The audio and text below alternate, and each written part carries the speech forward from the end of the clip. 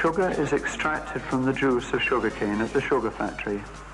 To help understand this process, we invited a group of Ellerslie School students to make sugar themselves and then to see how it is done on a large scale.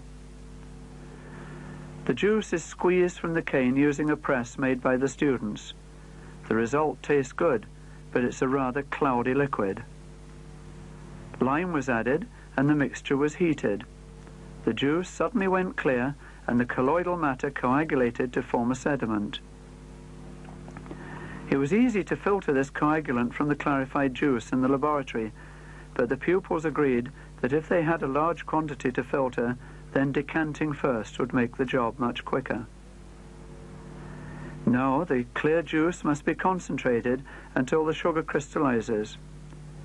The obvious way to do this was to boil the water away, but it was taking a long time, and as the boiling progressed, the nice straw-colored liquid started to darken because some of the sugar is burnt a little at this temperature. Then one of the students came up with an idea. He remembered that water could be evaporated faster from a solution if the pressure was reduced, and also that less heat was required. So a vacuum cleaner was attached to the mouth of the flask, and it worked. The liquid levels started falling much faster. However, if the steam were to enter the vacuum cleaner, it would cause damage, so a simple condenser consisting of a flask in cold water was inserted between the boiling juice and the vacuum cleaner.